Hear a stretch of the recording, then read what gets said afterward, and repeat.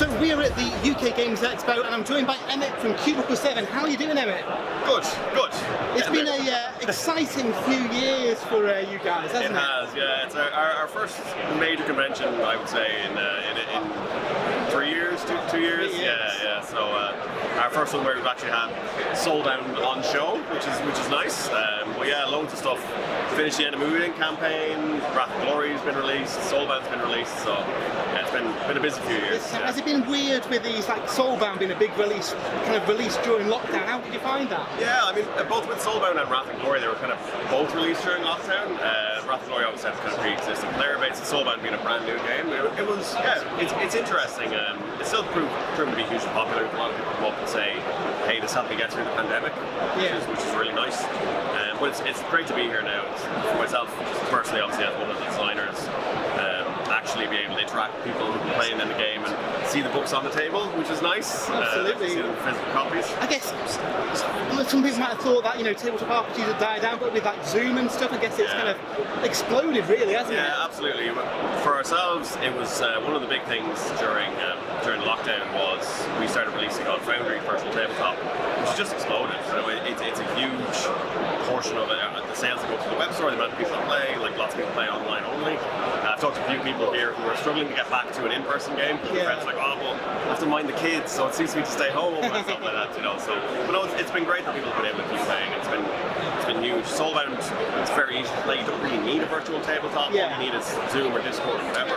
With WFRP, we have the Foundry, um, which will do a lot of the heavy lifting in the rules. It's a bit of a heavier system, um, and then we have Foundry support for Wrath and Glory and Soulbound as well. So it's, re- it's really good. It's something that it's it's great to keep supporting. We were kind of almost pushed into it, you know, out, out of necessity, but it's it's become kind of a pillar for us now. Yeah. Yeah. So that's something you kind of like fell into during lockdown and then fully embraced. Then? Yeah, yeah. There was um, one of the WFRP fans had put together an absolutely incredible Foundry module. So we um, just hired him to, to, to do the others and keep working. He's working through the Within campaign. He's done the Soulbound rules, the Glory rules. But yeah, we've 20 support as well.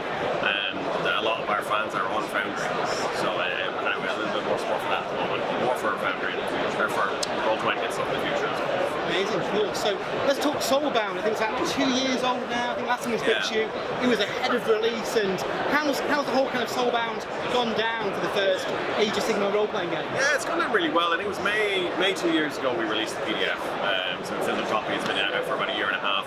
Um, it's gone really well. You know, we've had constant releases. We've had the core book, GM screen, starter set, Champions of Order, Champions of Death, Champions of Destruction, Steam and Steel, Artifacts of Power. You know, so we've had a lot uh, come out for in, in the two years. So it's, really well supported really good community built up on Facebook and Discord and Reddit. Um, so it's, it's, it's yeah, people keep discovering it. We get people walking up from the Warhammer stand like, hey, I didn't know this exists, or hey, the guys over there told me about this. You know, so um, it's been really great. Uh, the biggest trip for us, I think, was in the, uh, announcement of third edition Warhammer, Yeah. uh, Age Sigmar. They used one of our covers. So Oh, it was like it was the cover for Shadows in the Mist, and yeah, squealed when, when I saw it. So no, it's, it's been great, and working with the guys at Games Workshop, get to see what their plans are for the rounds and, and how we can tie into that. Uh, know, it's, it's been really good. Yeah, I guess. So are you a Warhammer fan yourself then? Yes, absolutely. I'm, I'm currently making a, a Kruleboyz army. Um, unfortunately, Dom, our CEO, is making a Stormcast Eternals army, which means I'm going to get my ass handed to me. but uh, but yeah, absolutely, yeah, big fan now. It's every book we work on, I become a fan of whatever we're working on. Yeah. You know, like when we're doing Champions of Death, I was always a fan of Nightbolts and things, but it was really digging into um, all of them really. You know, like the the Soulblight Gravelords with the new new faction, but you know the Ossiarchs and the Flesh-eater Courts are, are ones I love as well. But then we worked on Champion of Destruction, got to really dig into the Kruleboyz, and it's just they're so different from the, the regular you know, Warhammer Orcs or Orcs. Uh, you know, they're just yeah. I became a really really big fan. I was like, yeah, I'm making an army of those. And the models are stunning as well. So yeah, yeah, From a, from a kind of writing point of view, it's been fun seeing stuff before everyone sees like the Mega Gargants. I think were in the core book. The Fall of Anvilgard we've had Mm. Yeah. recently in the, the supplements. I think that's just pretty exciting to see. Yeah, absolutely. And with, with the um, our new book coming out, Year of the Beast, um, which we'll be talking about later, is you know it's in Thondia where they've the um, the new campaigns are set for the tabletop. So we've got to look at the Thondia books and stuff like that and see where they're going and really have chat with Games Workshop on what's here, what's this over here, what's that there, and, and, and get their ideas on it. And yeah, it's, it's been it's been really cool. Um, going to the, the, moving into the era of the beast with the emergence of Kragnos. You know, because even when we released the game, it was the Necroquake was a big thing. Yeah. Third edition came out, it was the era of the beast and Rise of Kragnos and everything like that. So that book will update the timeline a little bit for, for people who want to keep up to date Yeah. with, uh, with the, the, the actual narrative of Age of Sigmar. I mean, Age of Sigmar is quite an unusual one in that it does have an advancing storyline. I guess that really helps you guys out. Yeah, it's awesome, and uh, it's, it's it's really good for us. You know, it's we're always a little bit behind because of just how our schedules work. Yeah. You know, like so, uh, you know, third edition was last year. Our Era of the Beast book will come out maybe in a few months, um, so we're a little bit behind on that. But, but it's really great to have that to, to follow along with. Um, that that's been really exciting for, for us. Um, then with the Ulfenkarn as well, we're doing an Ulfenkarn box for, for our book City. You know, like tying into all those. It's really That's, cool. that's really cool. Big fan of Cursed City, so look forward Yeah, it's really cool. We've been, we've been play testing it currently, and it, it hits different.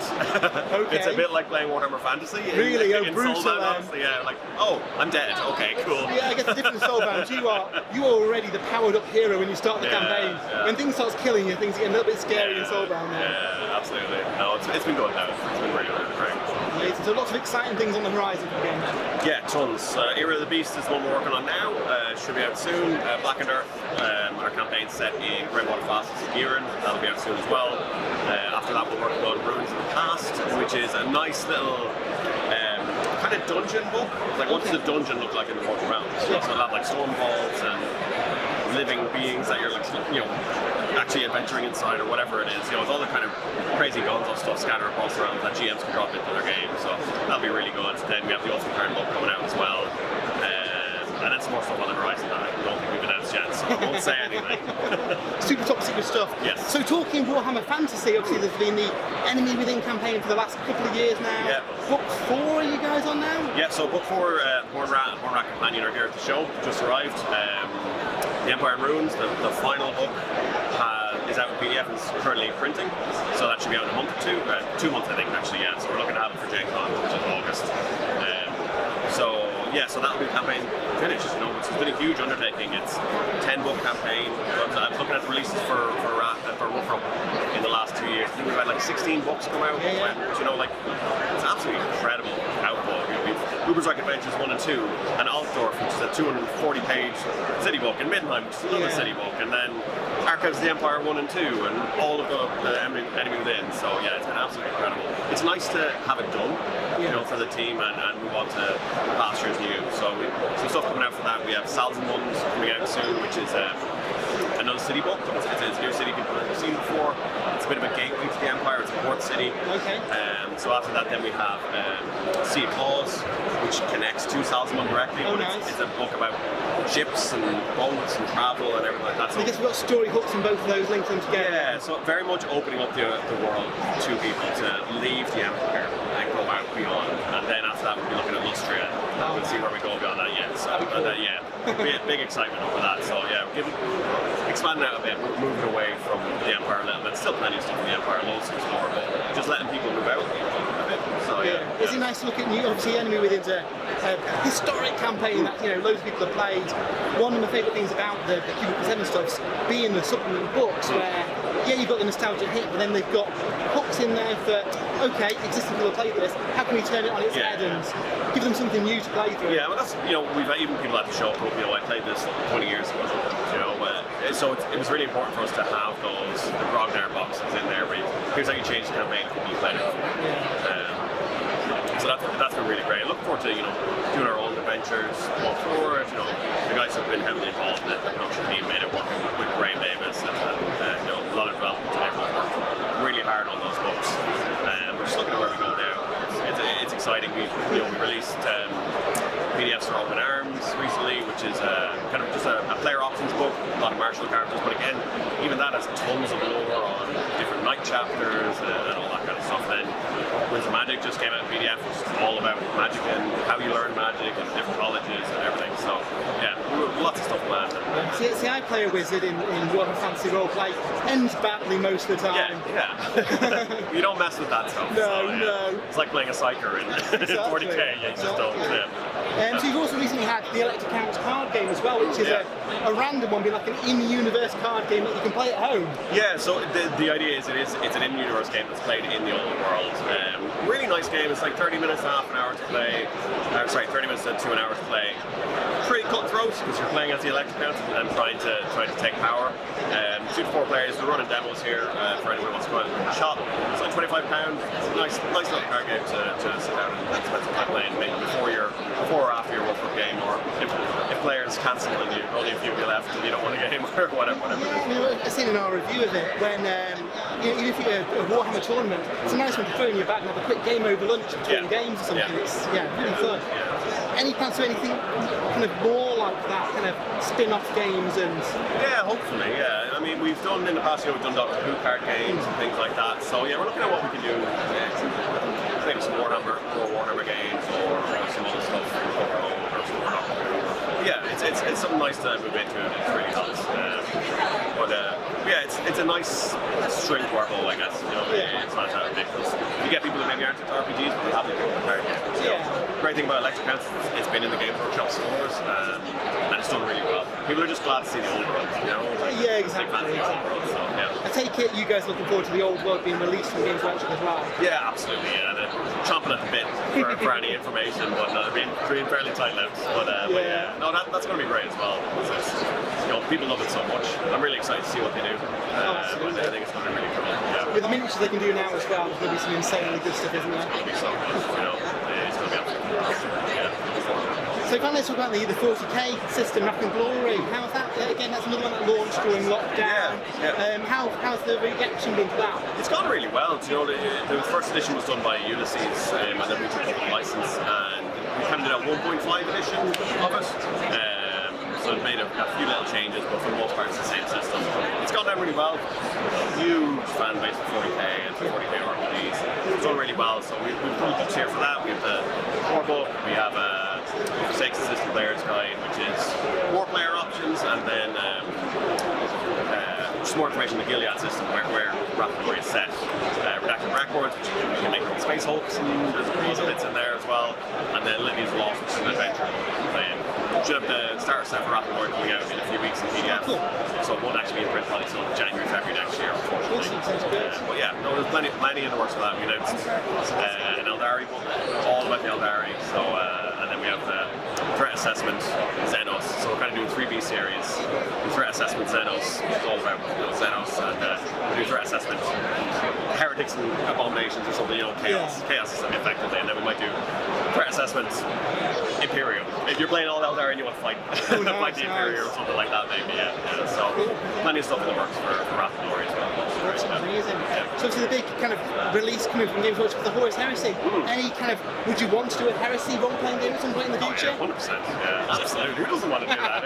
Yeah. Bite the hand off, I think. But uh, no, that'd be great. It's it's really interesting one. It's, you know, it's one we spitball. Like, how would we do it? You know, would we use the 100 system? Would we use Wrath and Glory system? Yeah. Would we use the Soulbound system? Because you're probably going to be playing a lot of Space Marines Yeah, fighting each other. You know, uh, would we just make it its own system? So, yeah, it's something that we we were like, oh. We're all big fans of Big Horus Heresy released today. We're stuck here on the booth, and Dom is off buying the new the new Horus Heresy. But uh, but uh, but no, look, it's something we'd love to do. You know, we're all I think we're all huge Warhammer fans of all the lines. So um, yeah, Horus Heresy I think would be a, be a big one I think for, for a lot of the team. Um, yeah, that'd be great. I'd love to do something like that. Yeah. yeah. So obviously you're here all weekend at the UK Games Expo. If anyone comes down to the stand, what's your like top three things that people should a look at from the Cubicle 7 stands? Um, I think the starter sets. So we have the Warhammer Fantasy and the Soulbound starter set. There's just so much in the boxes. You know, you get your pre-gens, you get dice, you get handouts, maps, you get an adventure book, you get a city guide. You know, they're absolutely rammed with stuff, and it's they're only like 23 pounds, I think. Um, so just such an amazing for what they are. You know, Elector Counts is great as well. We also have the beautiful Enemy Within collector's editions, the Soulbound collector's editions here and on offer as well, down to eighty pound from hundred. So yeah, there's, there's tons. Yeah, to offer. Some, some for everyone as well. Amazing, cool. Well, before we let you go, there's a question we have to ask every single person we interview. What is your favourite sprue and what's your favourite brew? Brew, I'm fueled by coffee currently. Coffee mostly. Um, yeah, yeah. Um, otherwise, uh, red wine. Okay, Yeah, okay, classy. Big got into it over the. Uh, we had wines days myself and my wife during the week. Um, screw at the moment. I'm doing. I'm working on a lot of cruel boy stuff. Oh, nice. Um, I love the gut rippers, as silly as that sounds. Like they're, I know they're just a, they're like a ten unit thing, but they're, they're all so different as well. I, I, really like that. I don't think they get much love. They're quite 80s and old school looking, Yeah, because I, I have the, the starter set box with the gut rippers, and I bought another box of gut rippers, but they're different from the starter set box. So you have like options as well. Yeah, yeah, but at the moment um, on my table, I have the, the uh, Killaboss on the course. I'm making the Killaboss, boss. I'm not making Fordrass, I want to say. Uh, trying to manage my points a bit, but yeah, yeah, that would be it for me. I just love, I love the, the Kruleboyz. Pretty much any Kruleboyz. Amazing. Yeah. So, thank you very much for joining Yeah, us. absolutely, it's been great. Um, It's really good to see you forward to seeing again. all the stuff coming from Cubicle 7 Yes, in the future. tons. We've got loads coming from the UK Games Expo, so we'll see you later.